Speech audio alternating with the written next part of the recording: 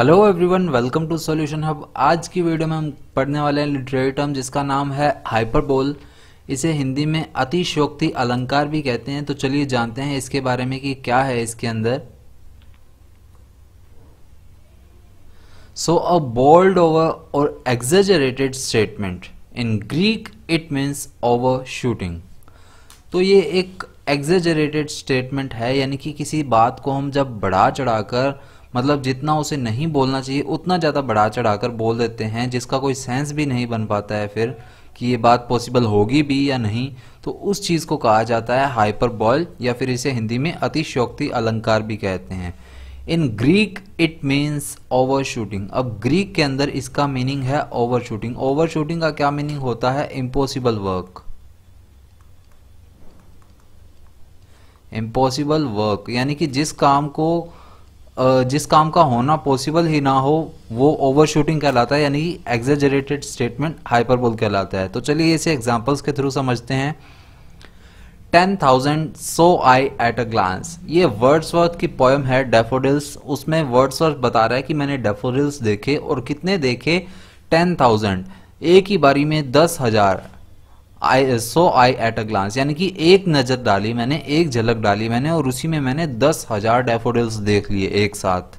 उसके बारे में बता रहा है। तो क्या दस हज़ार डेफोडिल्स एक साथ, दस हज़ार फूल एक साथ देखे जा सकते हैं? तो ऐसा पॉसिबल नहीं है। तो जब इम्पॉसिबल वर्क हो जाता है, जिसे हम बोल देते हैं, पर वो पॉसिबल ही नहीं हो पाता है तो वो एग्जेजरेटेड स्टेटमेंट हाइपरबोल कहलाती है।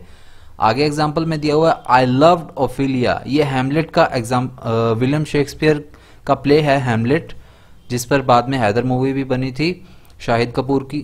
तो उसका ये एग्ज़ाम्पल है I loved Ophelia forty thousand brothers could not with all the quantity of their love make up my sum तो इसमें मेन मेन बात क्या है फोर्टी थाउज़ेंड ब्रदर्स तो क्या किसी के चालीस हज़ार भाई हो सकते हैं? क्या यहाँ पर ओफिलिया के चालीस हज़ार भाई बताए हैं?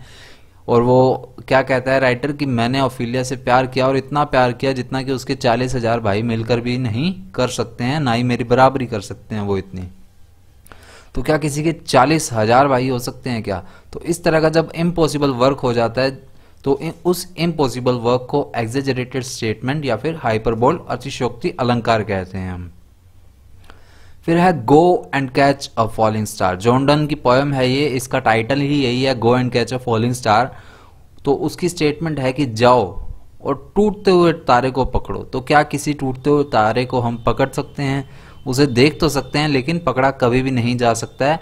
तो ये भी इम्पॉसिबल वर्क हो जाता है। तो इसलिए इसे हाइपरबोल कहते हैं हम। The sea rose mountain high अब यहाँ पर ऑथर क्या कहता है?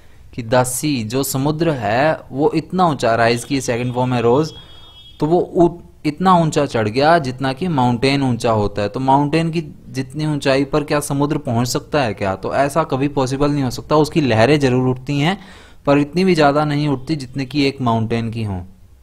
तो माउंटेन की हाइट जितना कभी भी कोई सी नहीं चढ़ सकता है, उस हाइट तक उसकी लहरें नहीं जा सकती हैं। तो इसलिए ये भी इम्पॉसिबल वर्क हो जाता है और ये हाइपरबॉल का एग्ज़ाम्पल बन जाता है। आगे हम देखते हैं, आगे एग्ज़ाम्पल है he has tons and tons of money अब टन की वैल्यू भी बहुत होती है कि टन में कितने हज़ार किलो आ जाते हैं। तो क्या इतने पैसे किसी के पास हो सकते हैं कि उन्हें तोला भी ना जा सके?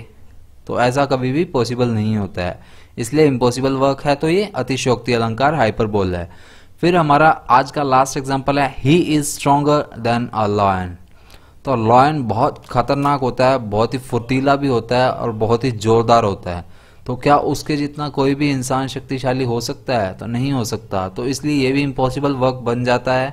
हालाँकि ये प्रॉपरली हाइपरबोल का एग्ज़ाम्पल नहीं बनता है, लेकिन पार्शली हम देखें तो ये हाइपरबोल का ही एग्ज़ाम्पल बनता है, क्योंकि कोई भी इंसान लॉयन जितना खतरनाक, तेज, खूंखार नहीं हो सकता है। ना ही उसकी स्पीड को कैच कर सकता है कोई इंसान। इसलिए इसे स्ट्रॉन्गर बताया गया है लॉयन को। तो अपोजिट बात कर रहे हैं हम तो ये हाइपरबोल का एग्ज़ाम्पल बन जाता है कि कोई इंसान लॉयन से शक्तिशाली नहीं हो सकता है। तो आज की वीडियो में इतना ही। अगर आपने बाकी लिटरेरी टर्म्स देखनी है तो डिस्क्रिप्शन में मैंने लिंक दिया है, उस लिंक पर क्लिक करते ही आपको सारे के सारे जितने भी लिटरेरी टर्म्स हैं, उनकी वीडियोस मिल जाएँगी। तो मिलते हैं नेक्स्ट वीडियो में। जय हिंद।